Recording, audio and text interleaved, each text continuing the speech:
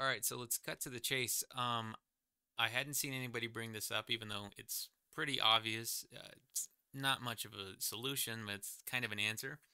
So one thing I noticed is that if your your MIDI device, if your manufacturer, in this case it's Korg, the nano keys here, if your manufacturer has its own uh, drivers, its own proprietary drivers that you can go to their website and download, then it's going to work. Now, if it's not, or if it doesn't have its own drivers, and it's uh, ironically enough, if, it's plug and play like the uh, MPK Mini, then it might not work for you.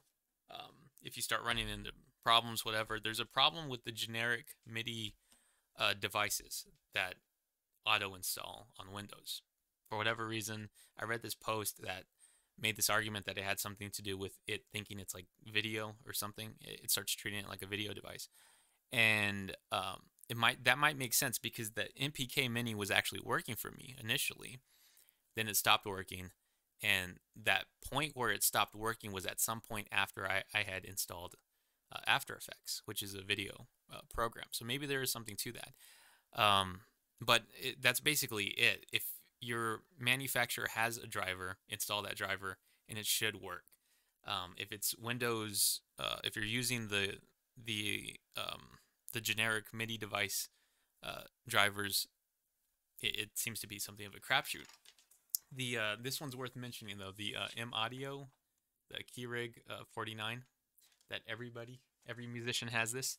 It just randomly spawns in your house at some point. and this guy is it's worth bringing up. One because I actually got it to work briefly, uh, and I was messing around with the device manager in uh, Windows.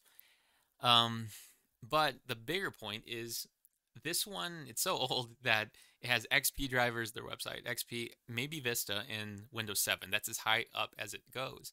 Well, I tried the Windows 7 driver and it actually worked.